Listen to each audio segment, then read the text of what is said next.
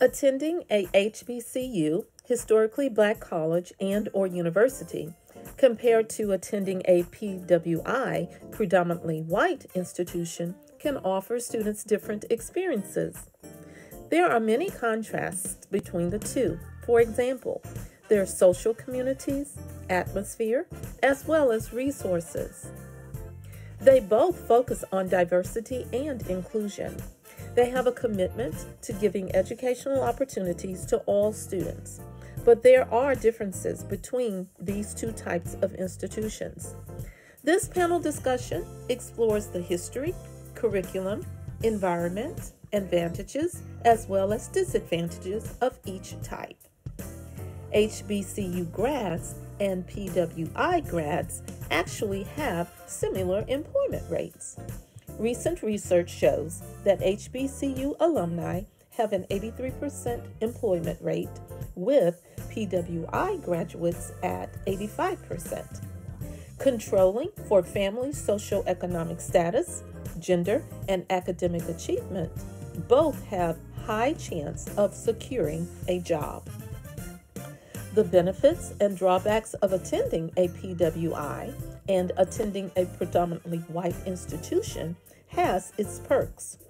The exposure to diversity, the academic and research opportunities, and the bigger social circles are great. But there are drawbacks too. Feeling isolated or experiencing racism and microaggressions can be a bummer. Benefits of attending an HBCU includes a sense of community, smaller classes, and faculty that prioritizes Black student success. Plus, HBCUs offer a culturally rich experience that can be great for getting involved in social and political movements. But there are drawbacks too. You may have limited exposure to diverse perspectives, and it can be hard to form networks outside the Black community. Also, HBCUs may not have the same resources as PWIs, which can affect career preparedness after graduation. In conclusion, there are many differences between the two that can impact your college experience. Ultimately, the choice between a PWI and an HBCU will depend on your individual preferences and goals. After listening to this very informative panel discussion, you will be able to make an informed decision about which type of institution is right for you and your future aspirations. This panel discussion will definitely help you understand the differences between PWIs and HBCUs.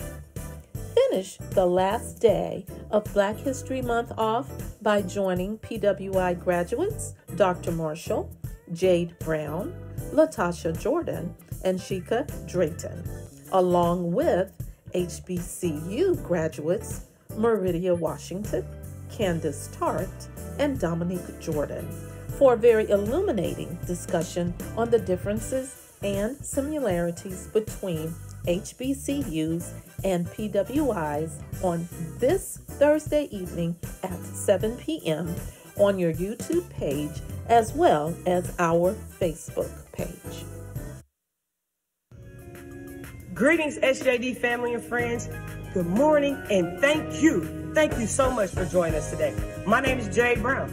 I am the athletic director and head girls basketball coach at Booker T. Washington High School, right here in Pensacola, Florida. Last but certainly not least, you know your girl, JB, is a proud member of SJD. Before we begin worship this morning, I just want to take a few seconds and I want you to listen to me. I don't need you to hear me. I want you to listen to me because it's too often that we know that we sometimes think about we have to do things. It's not about that. We're going to change our mindset today because we complain sometimes and we say things such as, I have to go to church.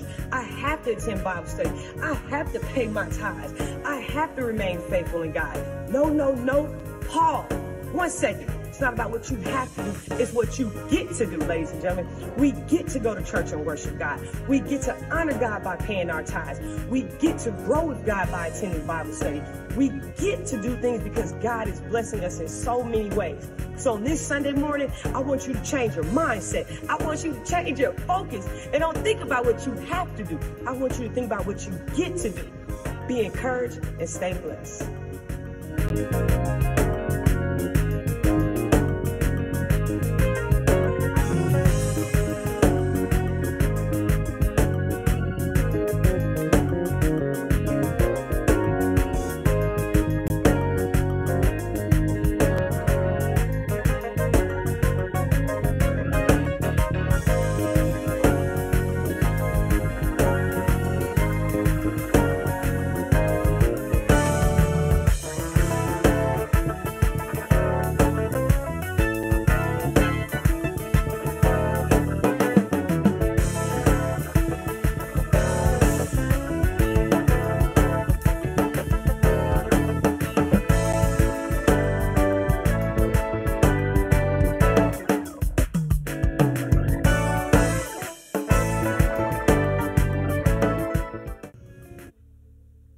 Morning, SJD family and friends.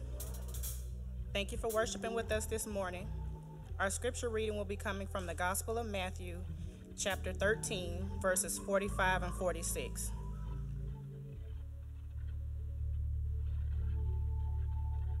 And the King James Version reads as follows Again, the kingdom of heaven is like unto a merchant man seeking goodly pearls, who, when he had found one pearl of great price, went and sold all that he had and bought it.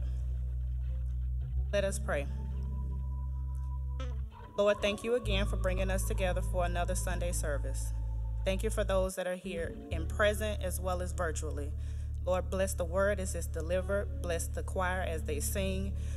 Have your way in this service. In Jesus' name we pray. Amen. Come on, let's clap our hands this morning and give God praise. Oh, come on, let's clap our hands this morning and give God praise.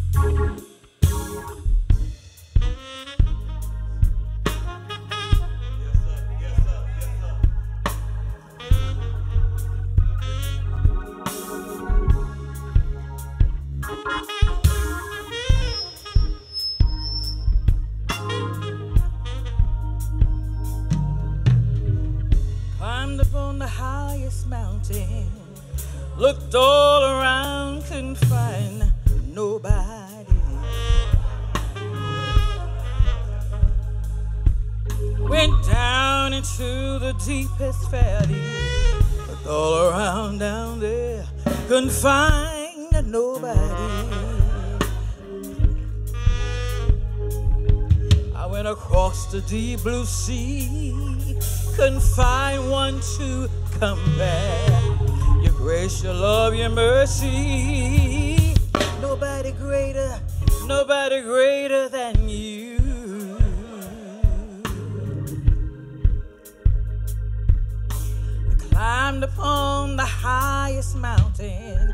looked all around, couldn't find nobody.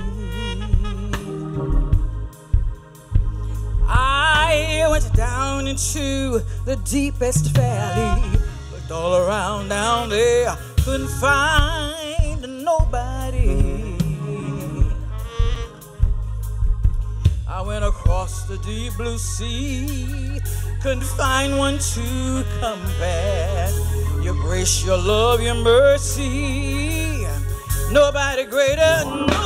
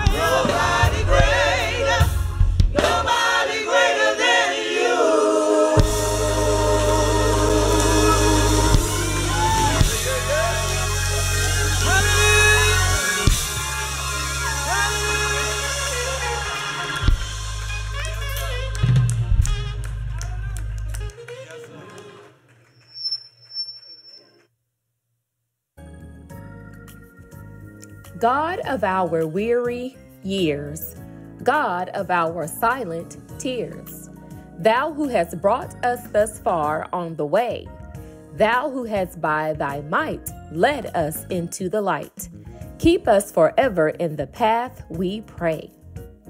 Good morning, St. John Divine family and friends.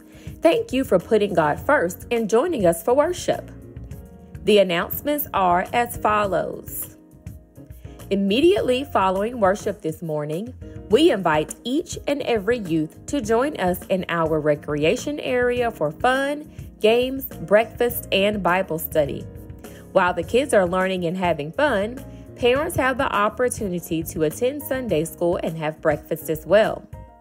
Looking forward to everyone hanging out with us for Sunday school immediately following worship this morning. We are a growing church, and we give God the glory for the consistent increase in members. We strive to reach out and check on all of our members. However, in order for us to do so, we need updated contact information for each member. If your contact information has changed, or if you haven't heard from our staff in a while, please help us serve you better by contacting the church office and leaving your updated contact information on our voicemail. Please and thank you. Friendly reminder that your 2023 tax request can be made online. Simply go to our church's website, sjdmbc.org. That's sjdmbc.org. Click on Year End Tax Contributions Request at the top of the page, and our financial secretary will get your request to you as soon as possible. You can also call the church office at 850 432 0568 and make your request as well. We are pleased to announce that both Lunch with the Lord and Wednesday Night Live will resume this Wednesday. Spiritual food and physical food are served during both opportunities. We are pleased to announce that we now have a recreation area that's available during Wednesday Night Live and Sunday School where the youth can play basketball indoors, play arcade games, PlayStation 5, 4, Nintendo Wii, Xbox, as well as get haircuts and get nails done all in one area. Looking forward to everyone joining us this Wednesday at either 12 p.m. or 7 p.m. Let's be intentional about growing in our walk with God. We are still in need of Sunday school teachers as well as Sunday school assistant teachers. If you are interested in assisting with Sunday school on Sunday mornings, please call the church office and leave your contact information with the secretary. Please and thank you. We are pleased to announce that the Tougaloo College Choir will be worshiping with us on Sunday, March 10th during 8 a.m. worship. Tougaloo College is a private, historically black college in the Tougaloo area of Jackson, Mississippi. You definitely don't want to miss this great time in the Lord on March 10th.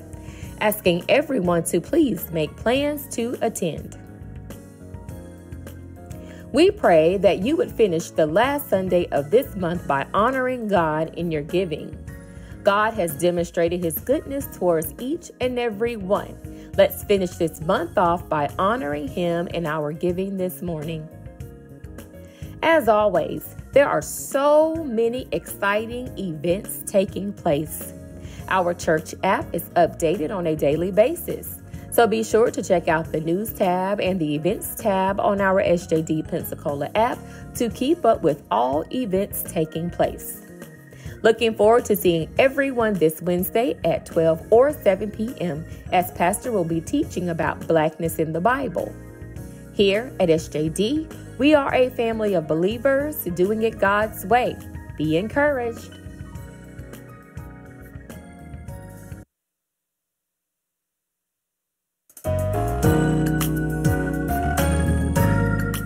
We are celebrating Black History at WCNC Charlotte. This week, we continue our discussion on education. We've been highlighting historically black colleges and universities. Greek organizations are a big part of the culture at HBCUs.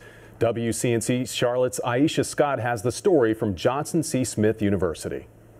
The history of black Greek letter organizations like the one I'm a part of, Alpha Kappa Alpha Sorority Incorporated, dates back to the early 1900s when African American students were excluded from Greek organizations on predominantly white campuses. Black sororities and fraternity were, were created on the basis of exclusion, right? Um, at some point, um, there were a group of black men who were trying to be part of organization and they needed votes um, one white vote meant they couldn't be a part of the organization, so they decided to start their own. Leland Howard is the president of the National Panhellenic Council of Charlotte, an organization that brings all nine Black Greek letter organizations together for one common cause. We are able to work together to ensure that there's change in the community. Um, we work together to ensure that um, policies and social policies are being pushed. Alpha Phi Alpha Fraternity Incorporated is the first Black Greek letter fraternity founded in 1906 at Cornell University. Alpha Kappa Alpha Sorority Incorporated is the first Black Greek letter sorority founded on the campus of Howard University in 1908. Also called the Divine Nine, these sororities and fraternities were founded on the principle of service, and it's a value that is still upheld to this day. We're out in the community, we're helping with voter education, we're helping with healthcare education, um, homelessness, you know, we're, we're feeding the homeless, we're out collecting supplies. Over the years, African Americans have joined Black Greek letter organizations for a variety of reasons. I turned to a few of my colleagues to find out their why. My mother and my aunts are all members of Delta Sigma Theta Sorority Incorporated, and my uncle is a member of Omega Psi Phi. So growing up, I saw the service. I saw them being dedicated to giving back to their community. My stepdad's a member of Kappa Alpha Psi, so that's all I ever knew. That's all he ever told me about. The Sigma was like they helped me move in. They kind of like sheltered me. They guided me. So just in my head, I was like, well, if I was to ever, you know, play, it would be probably that because I mean that's what stood out to me the most. They kind of adopted me as a little brother as I came in as a freshman, and I just admired uh, the respect that they they demanded from the team and the respect that they got on campus, and it was something that I wanted to be a part of. A part of organizations that often felt underestimated. We enjoy being underestimated because when we walk into spaces and and people have doubted us, we're showing beyond compare that we're ready, um, we're excited, and and that we we have been leading for a long time. It's just a matter of other people recognizing how great we are.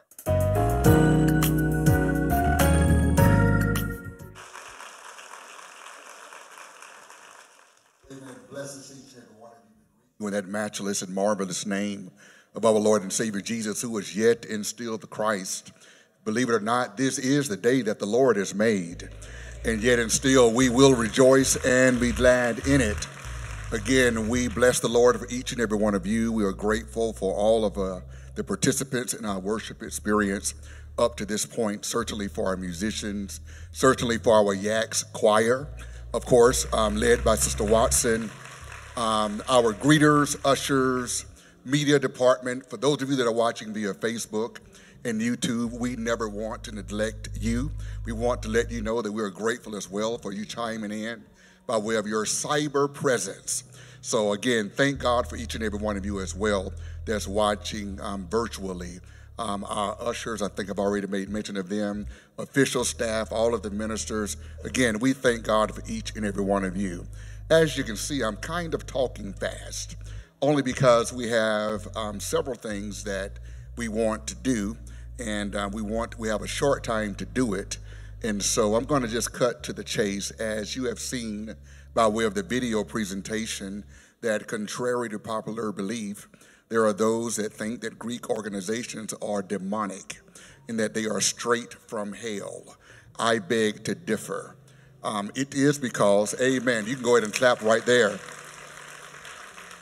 Um, it is because I can speak by way of Kappa Alpha Psi and as well as having many friends who are members of all of the various fraternities and those who are members of sororities, that they all have a biblical base, amen, that is etched within, amen, the grain of these organizations. And uh, don't hate on what you don't know about. Um, and just because you couldn't get in, um, you know, there's no need of bashing fraternities and sororities. Maybe you just didn't meet the qualifications, and maybe you should just work harder and go to the Lord and um, go to school and do your thing, and then you can be one as well. Um, I don't know if I should have said that or not, but it's said now. Um, and to God be the glory. um, amen. I thought I would just add that. So, with that, somebody said, Come on back, Pastor. um, with that thought in mind, again, um, we are grateful that so many of you have turned out and showed up here at SJD. We want you to know in an hospitable manner that we are grateful for your presence. And so I'm going to ask now that every fraternity that is here, as well as sororities, that you would ready a representative um, here briefly, because we wanted to at least um, give you something. Um, of course, we're getting ready to lift the offering and what have you. Y'all know how we do it in church. We're going to take up some money. Um, but rather than getting from you, we want to give something back to you. And so it is with that thought in mind, as well as with that conviction, we have just a little gift um, that we have here for every fraternity and every sorority. And as well, immediately after service, we have a dynamic display that is back in the back as we will be feeding all of you all. Um, and we're not talking about continental breakfast. It won't just be a muffin and a small cup of orange juice, but rather it is an extravagant layout that I'm sure you would agree how scrumptious that it really is and that you will all love it and love to participate in it. So, with that thought in mind, I'm serious now. Y'all got to go back there, and I know you want to do the photos and all of that. So, we got this big old thing back in the back, and um, you can take it around that. So, we pray to God that immediately after service, that you would exit um, to your left and just keep walking. Um, you will run dead smack into it. Amen. But right now, I'm going to ask if I think I see a few of them that if there's a representative of Alpha Kappa Alpha, the AKAs, if she would come. Amen. Yes, ma'am. On behalf of the members of SJD, we wanted to present this plaque to the AKAs, um, St. John Divine Missionary Baptist Church, Greek and HBCU Sunday 2024, Alpha Kappa Alpha Sorority, by culture and by merit. Amen. God bless you. Thank you so much, man. Thank you. All right.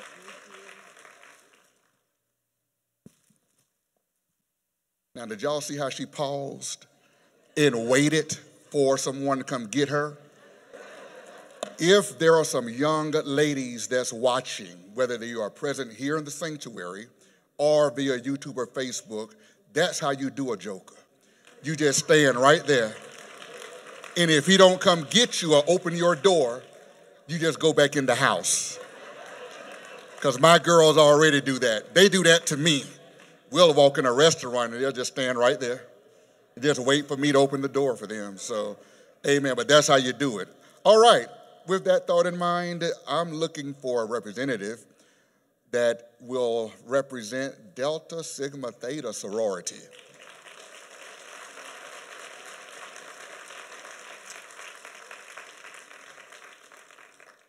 Amen. Amen. The deltas are coming down. All right. I tell you what, we'll, we'll, we'll, I'll come meet you. Yes, ma'am. Again, the same reading, St. John Divine Missionary Baptist Church, Greek and HBCU Sunday 2024, Delta Sigma Theta Sorority. Intelligence is the torch of wisdom. Correct. Did I get that right? You did. Amen. I checked and double checked and checked, checked. Thank you so much, ma'am. Thank you. God bless you as well. Oh, absolutely. She said, "Is it? Uh, you want to do it, or you want me yeah, to do it? You go ahead. Okay. I think you can handle it." Good morning. To God be the glory for the things He has done. It's a blessing to see all of our sisters and brothers from the Divine Nine. And I would like to ask my sorors of Delta Sigma Theta Sorority, Pensacola Alumni Chapter, will you please stand? Thank you so much. God bless each of you. Thank you. Amen. Thank you. Appreciate it. Maybe I'll just stay down here.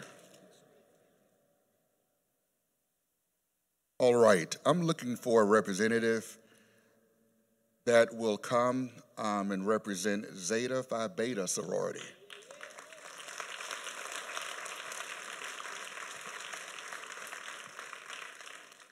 Hello, Miss Mingo. God bless you. Same thing, SJD, Greek, HBCU Sunday 2024, um, a community conscious, action oriented organization. Hoorah. Amen. Thank you. You wanted to say something? I would think I would like to thank you um, for having us this morning, and on behalf of the ladies of Gamma Tau Zeta chapter of Zeta Phi Beta Sorority Incorporated, we would like to say thank you. Ladies, could you please stand? Thank you. Amen. Thank you so much. Appreciate you. All right. Sigma Gamma Rho. Anyone here from Sigma Gamma Rho? Come on down, Syria. All right. Well, she is already a member of SJD, but we still thank you for representing your sisters. You got anybody with you? You don't have nobody with you? It's just you? Just me. Well, to God be the glory anyhow. Amen. Thank you, Sister Rhea. Appreciate it. All right, I'm looking for some brothers. Um, let's start with Alpha Phi Alpha. Anybody here? Alpha Phi Alpha? Oh, Brother Austin.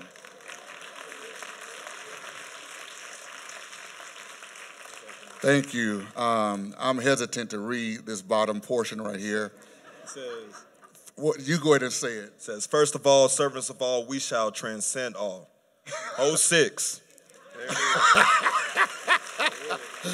God bless you, Austin. I'm looking for the Brothers Rhodey of Omega Psi Phi Fraternity Incorporated. This is my childhood friend right here. We played outside. I was just at my grandmother's house yesterday as well. And um, here it is friendship is essential to the soul. Amen. You want to say something, Rody? You know, the bros are like a Lamborghini. We don't do commercials.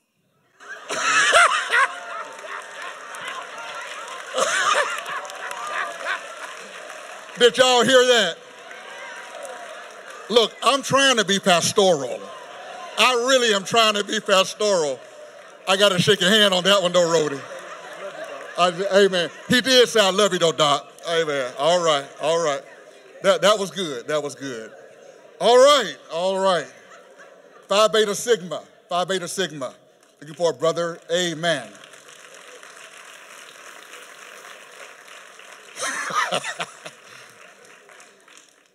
Let's see if I got this right. Culture for service, service for humanity. Amen. Thank you so much, bro, for coming and sharing with us today. Um, you want to say anything on behalf of your brothers? I just want to say on behalf of the Alpha Alpha Theta Sigma uh, chapter here in Pensacola, we appreciate you. God bless you, man. Thank you so much. Appreciate it. Appreciate it, dude. Uh, Iota Phi Theta fraternity. Any representatives for Iotas? Going once? Going twice? Amen. Come on down again, Sister Red. God bless you, girl. All right.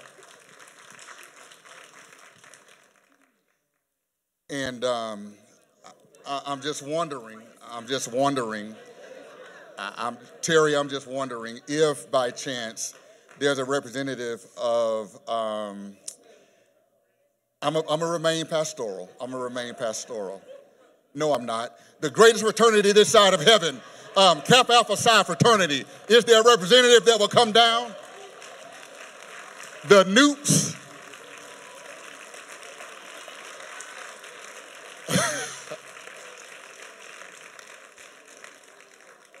and I just happen to know um, what they stand for, and that is achievement in every field of human endeavor.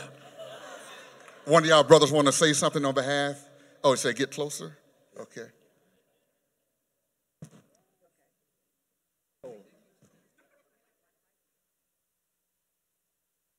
Amen. Want to say anything? All new say yo. And we appreciate you, Pastor, and God bless you. Amen. Thank you so much, brothers. Amen. Let's give all of our fraternities and sororities. Uh, I, I know. Okay. I, I knew you were coming back. I knew you were coming back. You know, because when she started, she was trying to be quite formal. But then when all the others spoke and then had they folk to stand up, I said, the AKA is coming back. Here you go. Thank you. Thank you.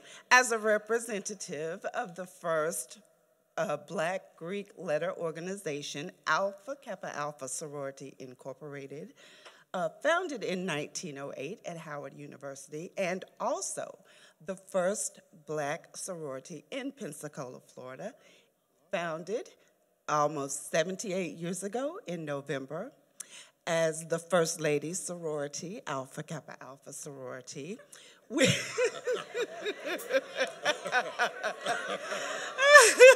First, I'll say it one more time. My sorors say, say it one more time. Our First Lady sorority, Alpha Kappa Alpha Sorority Incorporated. Sorors, would you please rise? This is the Delta Iota Omega chapter of Alpha Kappa Alpha Sorority Incorporated. Thank you. And on behalf of Delta Iota Omega, we would like to present you with just a small token. Yes, ma'am. Thank you. Yes, ma'am. Thank you so much. Again, let's give all of the fraternities and sororities a big hand clap of praise. And uh, whatever is in here, we will use it wisely. And um, we will make certain that we'll probably put it towards our youth department. Okay, oh, oh, all right. Y'all just keep coming on down then. Shoot. We, we got time for this right here. Come on. Anybody else want to come on? I know I talked over that noise in the beginning, but anybody else want to be a part of fraternity? That's all right. Thank you, Dr. Drew. Appreciate it. And thank you so much, Miss Mingo. All right. All right. Thank you so much. Now, with that thought in mind, um, let's ready ourselves to give unto the Lord. Um, if you don't mind, let's ready ourselves to give unto the Lord. We recognize that giving is a part of worship. And let's take our time now to do that. Many of the fraternities and sororities, they've already done so. But we're going to now ready ourselves congregationally that we can participate as well. Shall we bow our heads for a moment of prayer? Lord God, we are extremely grateful for the privilege and opportunity to give. We recognize that giving is a part of worship, and we've come now humbly to do it with a merry and grateful heart. We ask now in advance, God, that you would bless our efforts. We pray as well that you would bless these fraternities and sororities, that for whatever reason, by the convictions of their hearts, they have paused to plant in this church, of which we will direct to our youth department, and we thank them for doing so. In Jesus' name, amen. I'm going to ask now if all of the outer owls, all of the outer owls, if you would stand.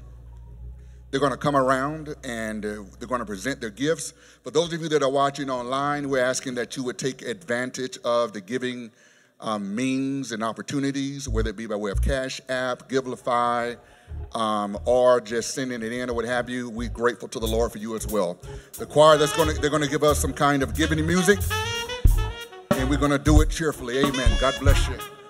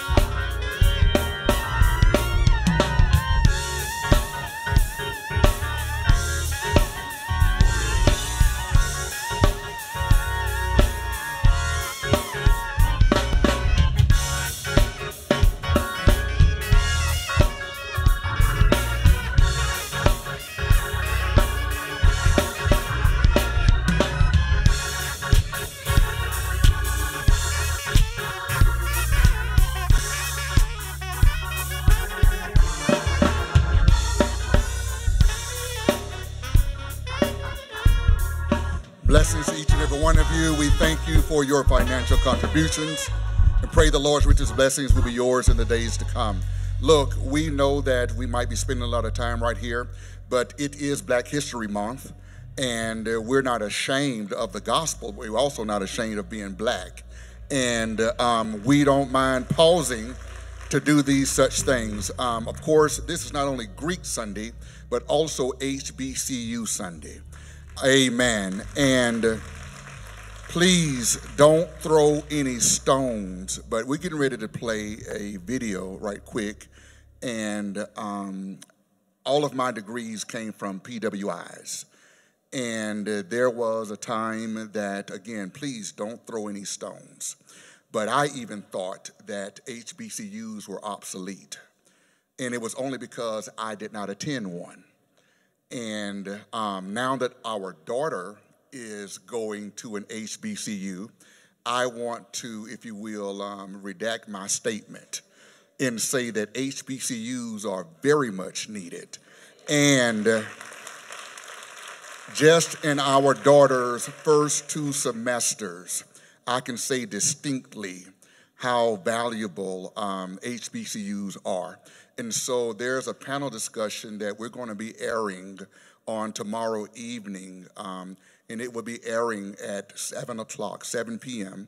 And we want each and every one of you to tune in on social media because the panel discussion that was conducted I had PWIs on one side and I had HBCU representatives on the other side, and there was a comparison and contrast of the experiences of both institutions. And so, with that being said, please tune in on tomorrow night on our Facebook page, on whether it be on YouTube or what have you, because I believe that um, there will be a lot of debunking of some of the myths that some, like myself, had before being indoctrinated with the valueness of HBCUs. So with that being said, you can go ahead and play the video now, Media Department. Attending a HBCU, historically black college and or university, compared to attending a PWI, predominantly white institution, can offer students different experiences. There are many contrasts between the two. For example, their social communities, atmosphere, as well as resources. They both focus on diversity and inclusion. They have a commitment to giving educational opportunities to all students, but there are differences between these two types of institutions. This panel discussion explores the history, curriculum, environment, advantages, as well as disadvantages of each type. HBCU grads and PWI grads actually have similar employment rates.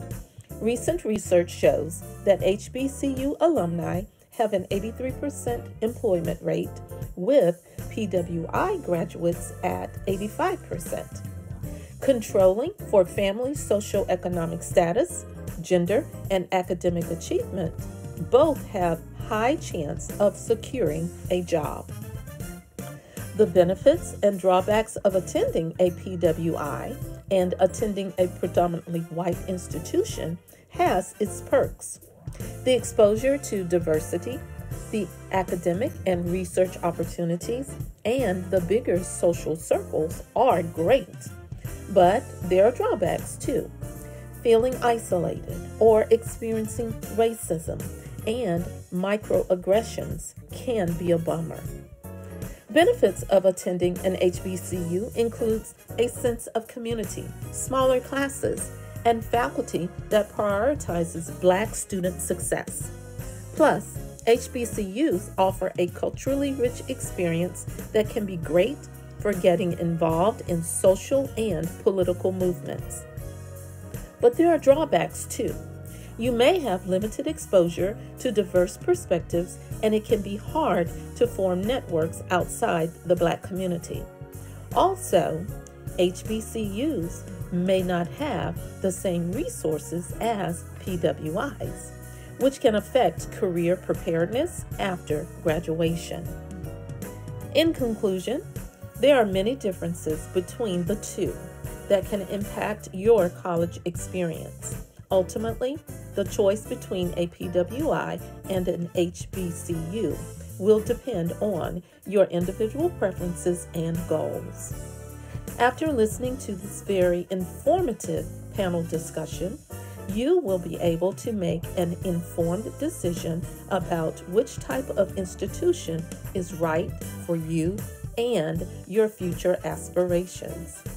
This panel discussion will definitely help you understand the differences between PWIs and HBCUs.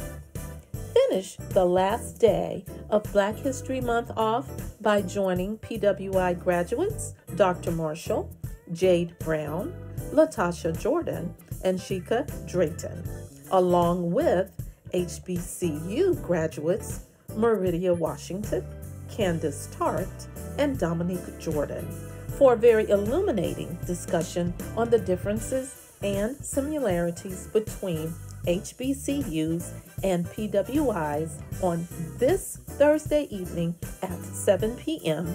on your YouTube page as well as our Facebook page. It won't be Thursday, it'll be tomorrow. Um, just so y'all know that. And when you watch it tomorrow, I don't need anyone to rag me about my socks that I'm sure y'all saw. If you didn't see it, act like you didn't hear anything I just said. Um, but I would be remiss of myself if I did not take the opportunity to acknowledge Coach Jade Brown. Coach, will you stand if you don't mind? Amen. Is Dominique Jordan, Coach Jordan, you're here? He's not, okay. We want to say, not only as your church family, doggone it, at SJD, but we also want to say, as those of us from Pensacola, amen, the city of Pensacola, that we are grateful to the Lord for you representing our city in such a stellar fashion in taking those girls to the regional finals. And we know that the best is yet to come. Amen. Let's give Coach Jade a big hand clap of praise. Let's give the city of Pensacola, amen. You got to be from Pensacola to know what's up. If you're glad to be from Pensacola, just say, I'm glad to be from Pensacola. Amen. Pensacola. Amen. God bless you all. All right.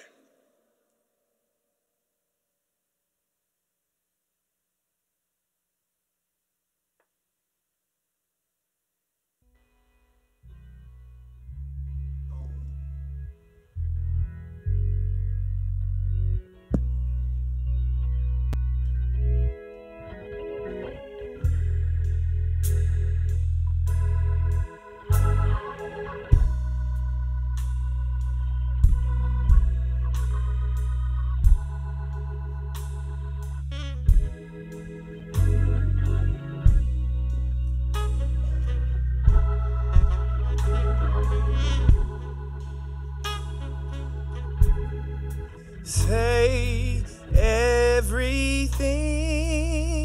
Everything.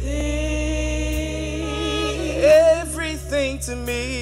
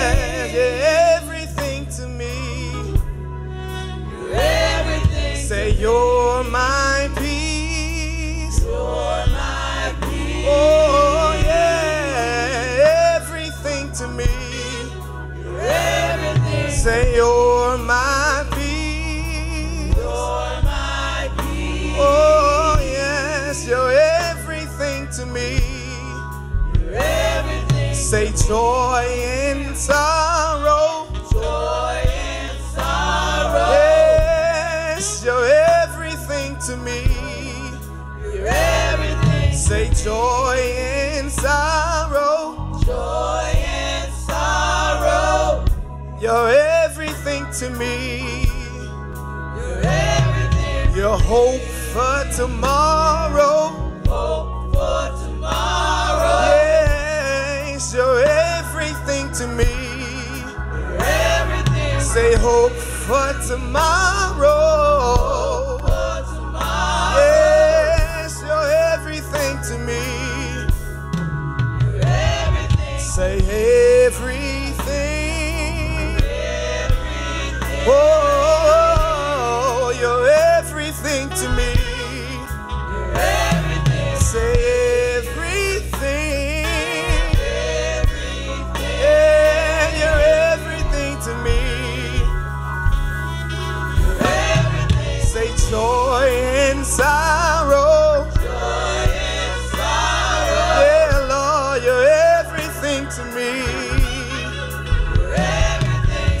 Say joy in sorrow.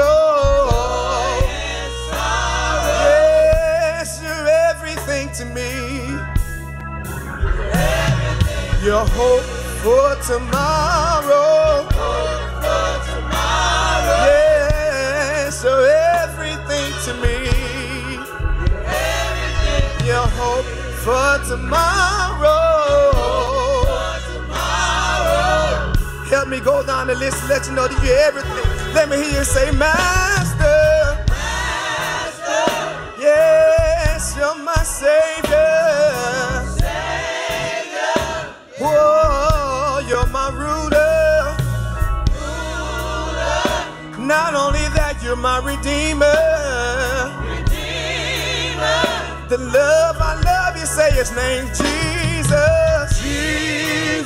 It's the sweetest name I know. Say Jesus. Jesus. He's the wheel in the middle of the wheel. Say Jesus. Jesus. He's the lily of the valley. Say Jesus. Jesus. Wisdom right in the night. He's the bright in the morning star. Jesus. Jesus. Jesus.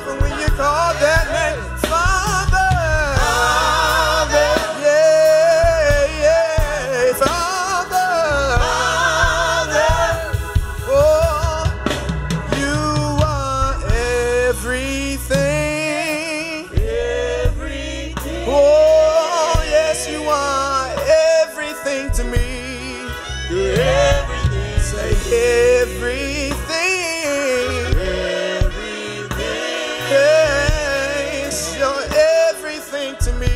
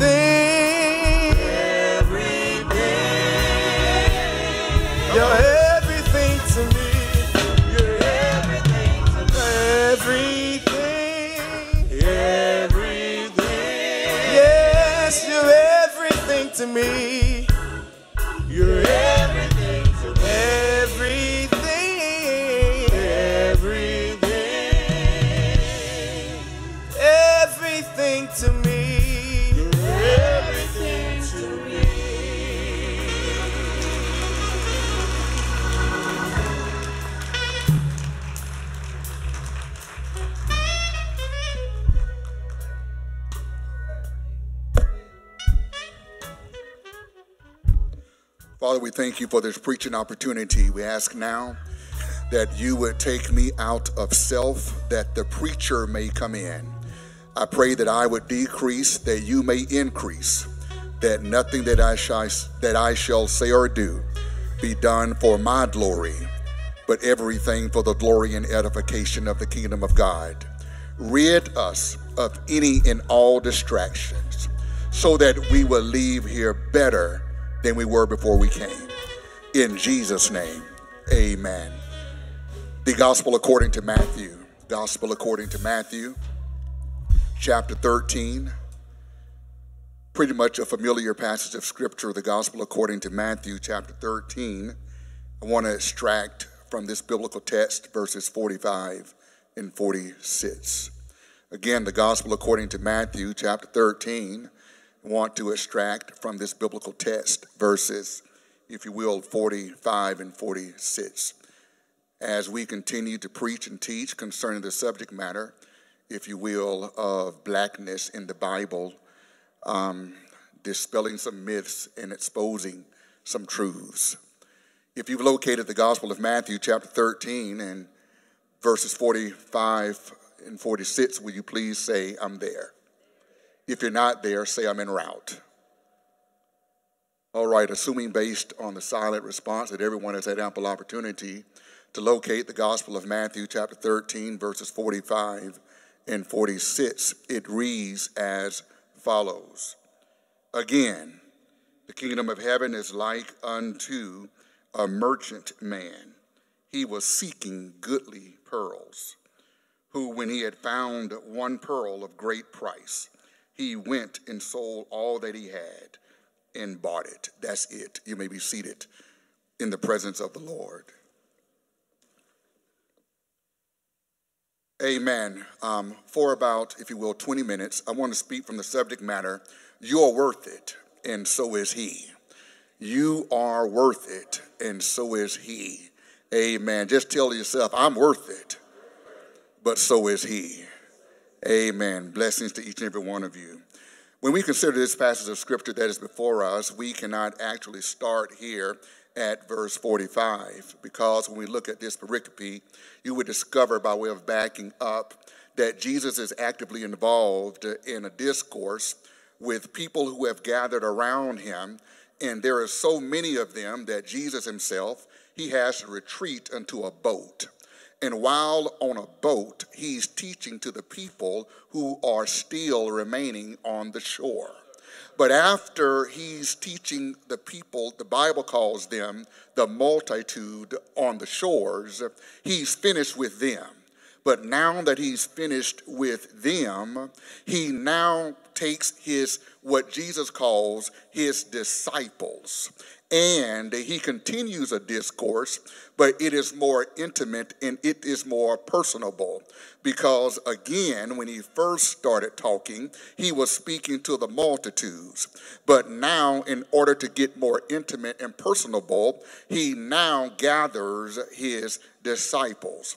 I need to pause and insert this parenthetically because without insulting anybody's intelligence, you do know there's a difference between the multitude and the disciples.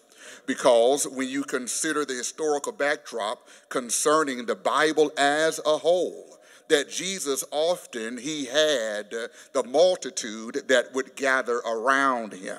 But as often stated like this, and that is, is that in life, the quicker or the sooner or as you start to approach the cross, in which Jesus had done, watch this, the multitude started to drop off. Not only did the multitude start to drop off, but also even some of the disciples. Because when you read the Bible as Jesus hung suspended in midair, there was only one disciple that actually ended up at the foot of the cross. And so that right there is a biblical lesson for all of us to apply. And that is is that whether you know it or not, all of us have to carry a cross. And when you start to carry your cross, don't be surprised when the multitude start to fall off. Okay, maybe y'all didn't catch that. Don't be surprised when your Facebook friends start to fall off. Y'all got that, didn't you? Um, don't be surprised when your texts start to cease. Don't be surprised when the messages start to cease. Because the closer you get to the cross, the multitude, they start to fall off. I don't want to be just a part of the multitude that follows Jesus, but rather I at least want to be placed in the category of being a disciple. Because, again, without insulting anybody's intelligence, SJD, you've heard me state this before, and that is, is that for many of us, when we say disciple, uh, we think that that is just merely a follower of Christ. However, when we look at that word more intimately and more intensely, you can see it by way of the derivative of the word itself. Because if you look at the spelling of disciple, uh, you detect the word discipline. In other words, you can't follow Jesus and not be disciplined because in life, I don't need a bunch of followers, but I need some disciplined friends. I don't need just a whole bunch of bandwagon jumpers, uh, but I need some dedicated, some loyal folk. Are y'all with me today? And that's of whom Jesus is looking for. He ain't looking to get more Facebook friends, but he's looking for some disciplined folk Are y'all with me today? And so it is with this thought in mind that as Jesus starts to speak to his disciplined ones, somebody say discipline. He's speaking to his disciplined ones, not the multitude, but now from starting at verse 36, he's speaking primarily to his disciples. And what the disciples want to know about, they ask, and they ask the question of Jesus about the kingdom of heaven. That's what they want to know about the kingdom of heaven. Well, when Jesus starts to speak concerning the kingdom of heaven, um, Jesus starts to speak concerning that subject matter in verses 36 through 43. Y'all still got your Bibles open, don't you? But then when he gets to verse 44, verses 44 all the way, if you will, to verse, if you will, 58, Jesus starts to talk about the kingdom of heaven more intensely. Because in the first parable that Jesus is speaking of in verse 44, he's talking about a treasure, don't miss this, that was accidentally found. One more time, he's speaking concerning a treasure that is accidentally found. But now in verses 45 uh, and 46, he's speaking parabolically concerning, if you will, a pearl that was not an accident, but a pearl that was intentional. In other words, Jesus is trying to tell us that, yeah, in the first, or rather in the prior parable, I was speaking concerning a treasure that I accidentally walked up on. But concerning this pearl, this is not an accident. This is not a coincidence, but rather, don't miss this, it is by divine uh, providence that there are no accidents when it comes to God. There is no coincidences when it comes to God. That God meant for you to be here that it ain't an accident that you're the color skin that you are. It's not an accident that you're as tall or as short as you are. It's not an accident, but I am God's purpose and plan. Amen. And it is with that thought in mind that guess what? He wants us to know parabolically that guess what? This pearl is of great value. And this pearl, if you will, is so valuable that don't miss this, that one pearl in the Bible days was the equivalency contemporarily of $10 million. That one pearl was worth, don't miss this, how much? $10 million. Oh, you can see why that Jesus utilizes this example uh, in order to speak concerning uh, the kingdom of God.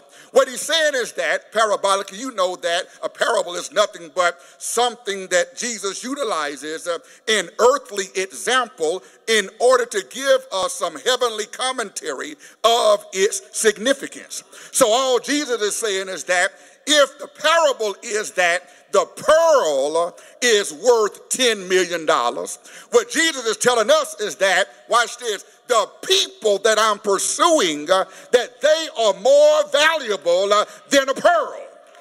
Oh, y'all missed a shout right there. Jesus is trying to tell us that regardless of the devaluing uh, that the world can do to us, that don't listen to them, but listen to me. Because what I'm trying to tell you is that, watch this, you are so valuable that you are worth over $10 million. Somebody say, oh, Pastor, I don't believe that. That's the problem right there. That's the bamboozlement of this dude by the name of Willie Lynch. Willie Lynch, if you remember, there was a letter that he sent from the West Indies uh, when here in the Americas, by way of the initial 13 colonies, uh, when he had problems pulling black folk under his control. Uh, and he wrote a letter talking about, amen, the making of a slave. Uh, that one of the main things you had to do was devalue black people. One of the main things uh, you had to do was make them think that they were not worth anything. Uh, but I'm not here to listen to Willie Lynch. I'm not here to listen to anybody else because I am who God says I am. That's the problem with some of us is that we got too many contemporary Willie Lynches in our lives. Uh, that anytime you mess up, anytime uh, you don't dot an I, anytime uh, you don't cross a T, they always want to act like your life is over. No, that's what happened, but it's not who I am. Y'all still miss your shout right there because y'all do know that all of us will have some trials and tribulations. That all of us will have some ups and some downs. That all of us will have some sunshine and some rainy days. But that still does not devalue who you are. You are somebody. You are worth it. You are valuable. Uh, and uh, you are worth pursuing.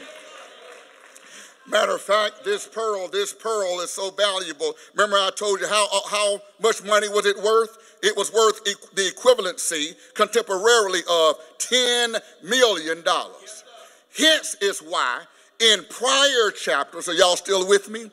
That in Matthew chapter 7, in verse 6, here's what the Bible says it says, Don't cast your pearls before swine can I translate Joseph Marshall? Don't, amen, waste your time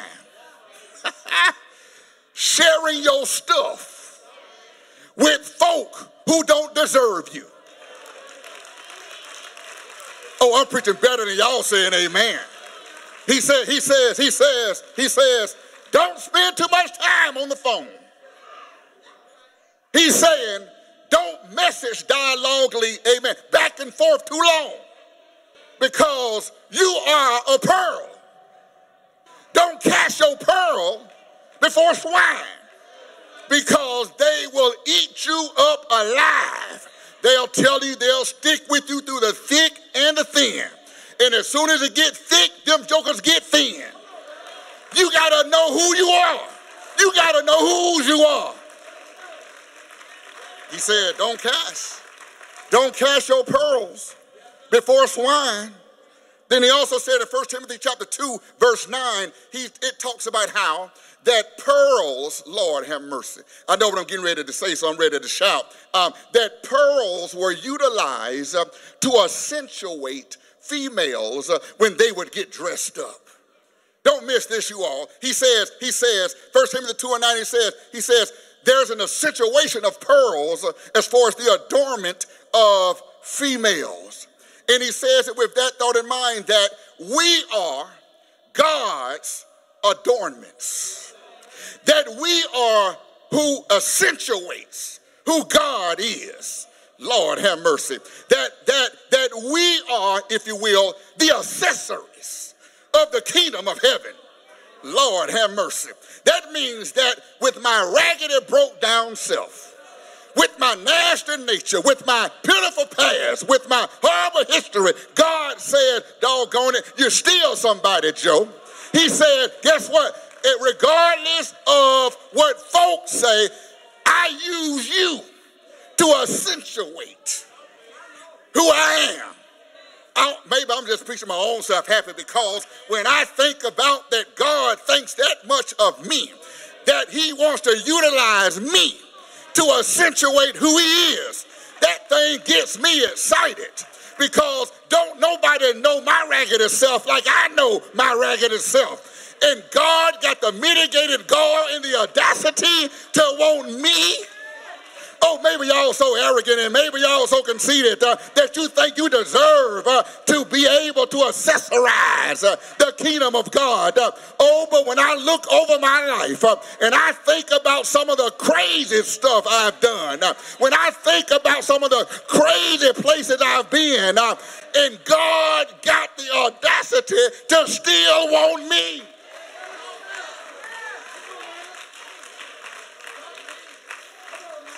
Lord have mercy. It's 923. Let me cut across the field because here it is. Here it is. He says, he says, here it is. I love this point of emphasis right here. Y'all still got your Bibles open, don't you? I want you to watch the tone of the text and the pace of the passage. Because listen to the tonality of the text. Consider the pace of the passage. Because look, it says again Watch this. It says again. It says again. Three times. Jesus says again, again, and again. Now, if somebody keeps saying something again and again and again, if there is repetition, if there is redundancy, if there is this extreme reiteration, it could be that this is an important point that the writer wants us to get. Are y'all with me today? Now, there is something, if I could just use a little bit of my education, there is something called the rule of first mention, and all that means is that you want to trace a word back to the initial time it was ever utilized. And when you trace it back to the first time it was ever utilized, uh, then uh, it's going to remain consistent by way of the forecasting of futuristic passages. And so it is with this thought in mind that it is in Matthew chapter 4, verse 7. Don't miss this. Listen to what Jesus said when he first used this word uh, again. He says in Matthew 4 and 7, he says, This is when the devil was trying to tempt him. Y'all remember that good Bible readers? The devil was trying to do what? Tempt him. And Jesus said unto him, referring to the devil, listen to what Jesus said. It is written again, Thou shalt not tempt the Lord thy God. Oh, oh, that word tempt, by way of the Greek defining of it, it literally means don't try the Lord thy God. so, so you know what that means by way of contemporary application? I often tell SJD you ought to keep one foot in the text, but then another foot in the times. So what that means to me is that, watch this, if Jesus said when the devil was trying to tempt him, and Jesus said, doggone it, don't tempt or slash, don't try me. That means that every time the devil comes in your face, you ought to say, doggone it, don't try me. Okay, some of y'all ain't that bold, uh, but every now and then uh, you got to be so flat footed, you got to be so square the shoulders uh, that you need to look the devil in the doggone face uh, and say, Don't you try me. Well, what you gonna do if I try you? I might just lift up my hands. If you try me, I just may start praising the Lord. Uh, if you try me, I may start stomping my feet. Uh, and if I can't do nothing, I just may just wave my hand. Uh, because uh, if God be for me, He's more than the world uh, could ever be against me. Uh, tell your neighbor, don't try me. I may just shout on your head. don't try me. Just hit you while I'm trying to wave my hand. Uh, don't try me. Uh, and talking about it don't take all that. Uh, if only you knew where the Lord done brought me from. Uh, it takes all of that and a whole lot more. Don't try me.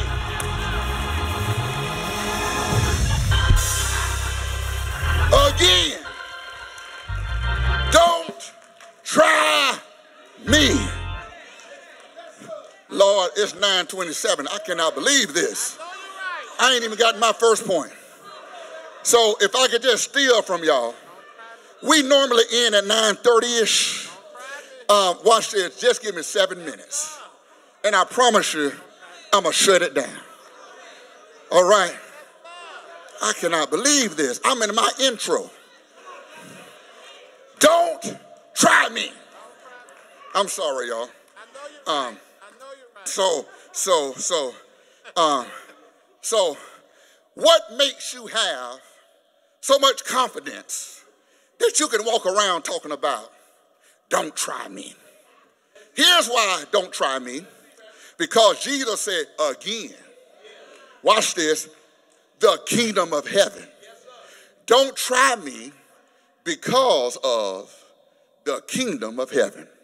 Well, what in the world that got to do with the test? Put the picture up on the screen if you don't mind, media department, because here it is. Whether you know it or not, there are three kingdoms. The first kingdom is the kingdom of Satan. The second kingdom is the kingdom of heaven. But then the last kingdom is the kingdom of God. Can you say it with me, class? There's first of all the what? Kingdom of Satan. Secondly, there's what? But then there's the what? Oh, but if you look at the picture very intensely, and meticulously. Notice how the kingdom of Satan is that little small dot. I'm about ready to run around the building. But notice how the kingdom of heaven encompasses the kingdom of Satan. And then above that, if that ain't enough, the kingdom of God contains the kingdom of heaven and, Lord have mercy, it all contains uh, the kingdom of God. So that means that, watch this, no matter what happens in the kingdom of Satan, the kingdom of heaven will always rule. The kingdom of heaven will always reign. The kingdom of heaven will always be paramount. The kingdom of heaven will always be above and not beneath the kingdom of Satan. So the devil can't do me no harm. Okay. All right, all right. All right. Um, so, so, so what Jesus does, what Jesus does, Lord, I told y'all seven minutes. Um, at 9:35, I'm gonna be through. I'm gonna be through. So, so what he does is that Jesus says, the kingdom of heaven, again, the kingdom of heaven is what, like what? A merchant man. I'm in the text, y'all. First point of emphasis. May not get to the second point. That's all right. Can you tell it all in one sermon? Um, here it is. You're worth it. Well, Pastor, what am I worth? I'm worth the pursuit. Somebody say pursuit. Yeah, you're worth it, and so is he. Yeah, you're worth it, but so is Jesus. What is he worth? The pursuit. Lord have mercy. The what? Pursuit. Because the Bible says parabolically that there is a who? Merchant man. Um, a merchant man, don't miss this, he ain't just a trader, but he's a master trader. And often, this merchant man in Bible days, they would go literally seeking valuable treasures. Now, don't miss this because when you really read the historical backdrop concerning merchant men, watch this, they would go looking for valuables all within the region. However, contrastly, there was some knockoff merchant men Pastor, what you mean, some knockoff merchant man? There were some perpetrators that y'all know how they do. When, when, when, when we went to New York, um, there was this place, and man, you can get Louis Vuitton, you can get Gucci, you can get Fendi, man, you can get what, what um, um, all the name, you, you can get them. So I looked at Terry, I said, my God, man, let's rack up. Let's get some Gucci. Let's get some Louis Vuitton. Terry said, Joseph, you do know that ain't real. I said, but look at it. it, it looks real. Jesus Christ. Here it is, here it is. The Lord recognizes that he knows the difference between fake and real. Here it is, here it is. I don't want to be a knockoff. I desire, shoot, let's just go and get up out of here. I desire that when I worship the Lord, I want my worship to be real. I don't want it to be fake. I don't want it to perpetrate, but I want my worship to be real.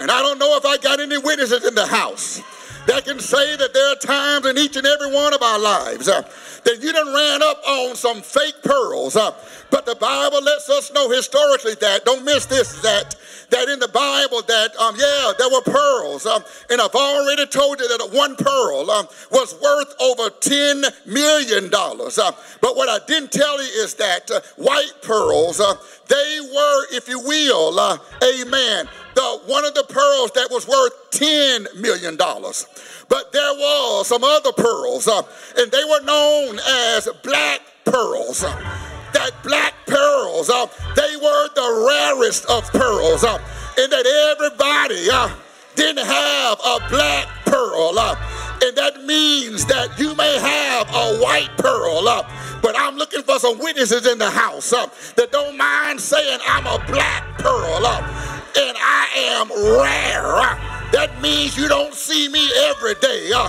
and I'm so glad uh, that I am genuine. Uh, I'm a black pearl. Uh, and ain't nothing funny about me. Uh, but when I think of the goodness of Jesus uh, and all that he's done for me uh, with my black pearl self, uh, my soul cries out, uh, Hallelujah. I thank God uh, for saving me.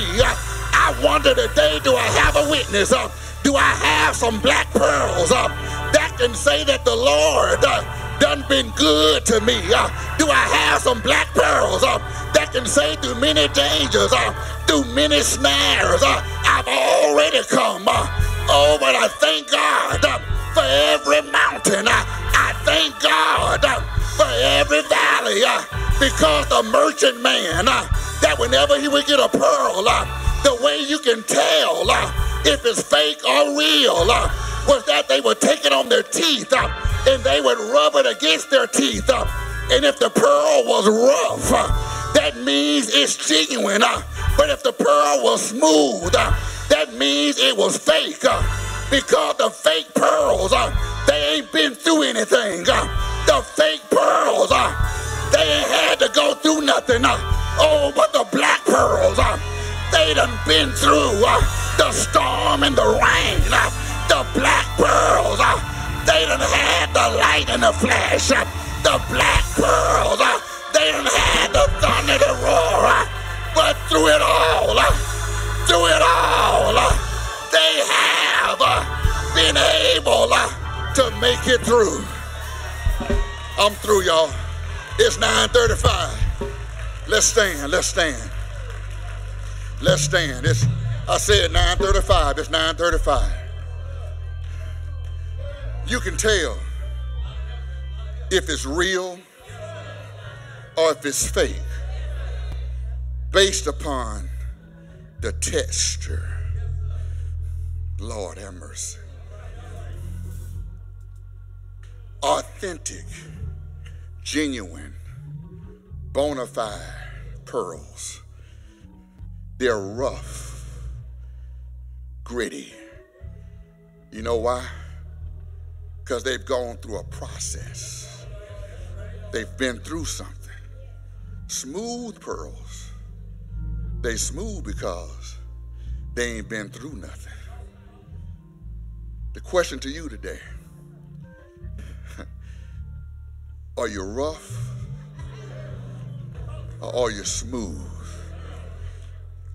Got a lot of fraternities and sororities here today, but I bet you we got some some pearls, some black pearls that have been through some stuff.